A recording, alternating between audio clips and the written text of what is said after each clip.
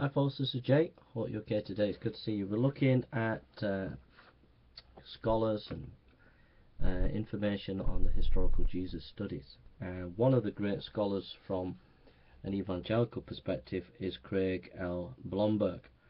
Craig Blomberg is widely considered to be one of the country's foremost authorities on the biographies of Jesus, which are called the Four Gospels. He received his doctorate in New Testament from Aberdeen University in Scotland, later serving as a senior research fellow at Tyndale House at Cambridge University in England, where he was part of an elite group of international scholars that produced a series of acclaimed works on New Jesus.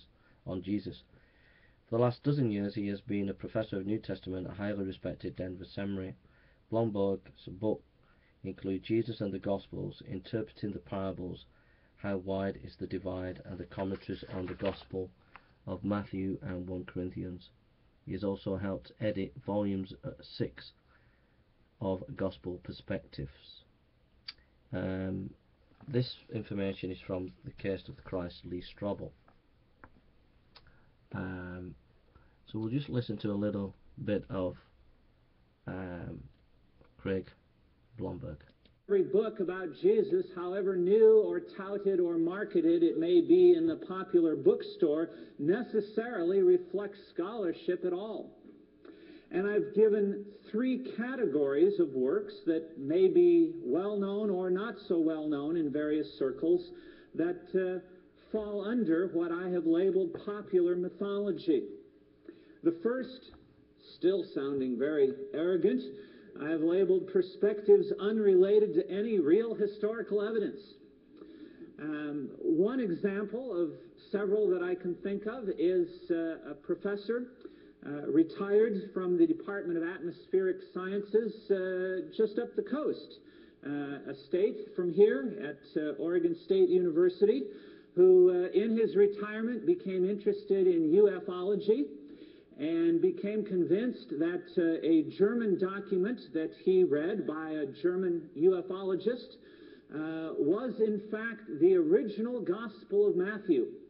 Uh, it looked very much like the Bible's Gospel of Matthew, except at key points where Jesus wound up being an alien from outer space who came to this planet to. Dis- so we'll come back to that in a minute, but it, it's important just to recognize that many people today uh, take in these mod modern scholars, modern writers, and many of them are sensationalist writers. And you've got to be careful. You've got to make sure that you read reputable scholars who've done the research and are accredited in proper institutions.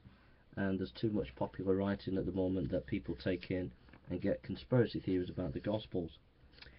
Um, Lee Strobel says, Tell me this, I said, with an e, e edge of challenge in my voice. Is it really possible to be an intelligent, critically thinking person and still believe that the four Gospels were written by the people whose names have been attached to them?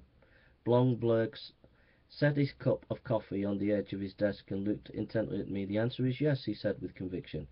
He sat back and continued, It's important to acknowledge that, the, strictly speaking, the Gospels are anonymous, but the uniform testimony of the early church was that Matthew, also known as Levi, the tax collector and one of the twelve disciples, was the author of the first Gospel and New Testament.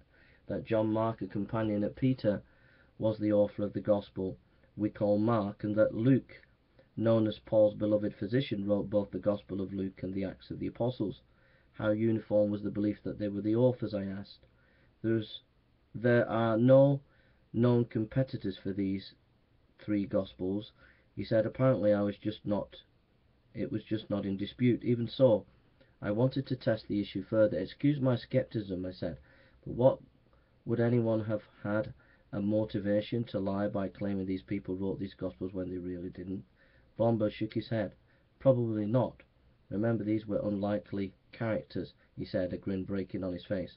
Mark and Luke weren't even among the twelve disciples. Matthew was but uh, a former hated tax collector, he would have been the most infamous character next to Judas Iscariot, who betrayed Jesus.